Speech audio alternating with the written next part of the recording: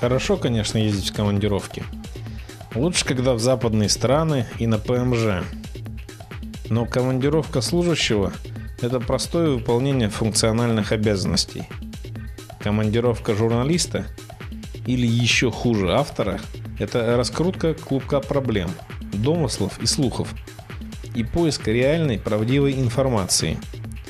Если стороне заинтересованной в простом засвете, типа вот мы какие, и мы смогли отправить типа телевизоров, чтобы показать какие мы типа крутые, и что мы типа можем, то автостоповские поездки имеют другую цель. Нам необходимо максимально правдиво показать. Да, вы можете так работать. Но с какими трудностями и с косяками при этом вы столкнетесь, какие большие шишки вы набьете и не проще ли, а главное дешевле, работать с проверенными магнитогорскими фирмами. И поездка в Питер, организованная фирмой Мактранс, имела прежде всего такие цели – но честно, надоело слушать от людей недалеких, да и мы имеем чудо интернет, да и мы знаем цены. И мы знаем цены на полутора миллионный Фред в Красноярске, проработавший по федералке. Да просто вживую посмотреть на тачки не кожаные по России и сравнить их с магнитогорскими.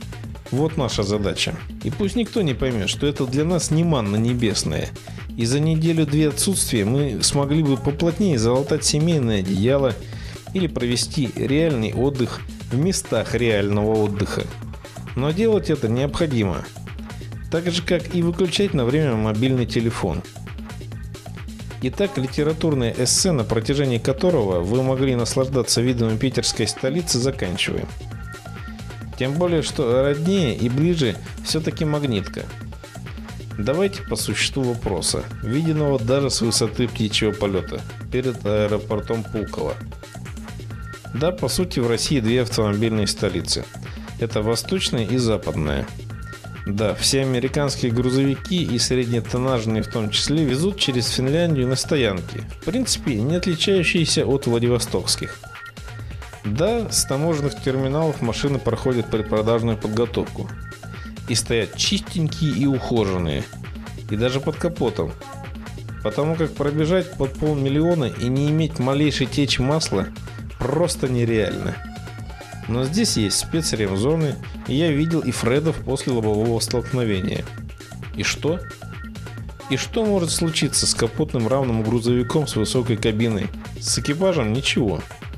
И вроде все хорошо и просто. Ну для чего же здесь сформирован центральный офис Мактранс? А теперь поподробнее. Коренные жители северной столицы по сути своей оперативностью действий не обладают. И как жители многомиллионного города по правильной сути своей предпочитают жить, а не путешествовать 4 часа каждый день до стоянки в Пулково или окрестностях и обратно. Поэтому рассчитывайте на двух-трехдневное пребывание с матюками, так как вот она машинка. А где-то там офис. И в итоге, помаявшись, а российское разгильдяйство никто не отменял, вы с наличностью можете понравившийся вам автомобиль и не увидеть. Иной, более шустрый, как дамка вас съел. Другое дело Мактранс, и офис недалече, и бронь на лучшие автомобили, потому как клиентов своих они не подводят. И в большинстве случаев на тачках бронированных мы видели шильдик Мактранс.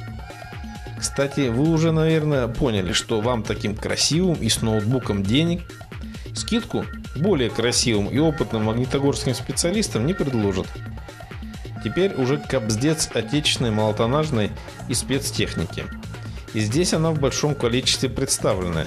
А зная, что америкосы руками работать не любят, о ее предназначениях можно только догадываться.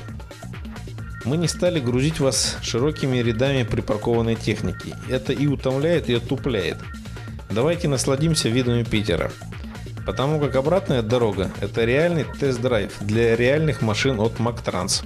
И скажем, а кто еще для вас проверит на все 100 авто, пробежавшее полмиллиона майлзов по тамошним дорогам, и на что оно способно по нашим?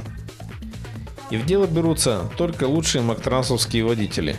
А на нашу долю пришлось чудное испытание заснеженным перевалом Башкирии, закрытым для всех, только не для оборудованных блокирующимся дифференциалом Фредом. Поспать, конечно, не удалось, так же как и поснимать по-старобзаковски по покрытию дороги. Но мы были единственными, утершими и носы, и кабины европейцам и китайцам. И вернувшись в родные пенаты, скажем, путешествие стало для нас трудным до неожиданности. Но цель убедить себя в правильности сотрудничества с Мактрансом мы выполнили. А зная, что для большинства автолюбителей мы что-то значим, выводы зрителей сделаны однозначно –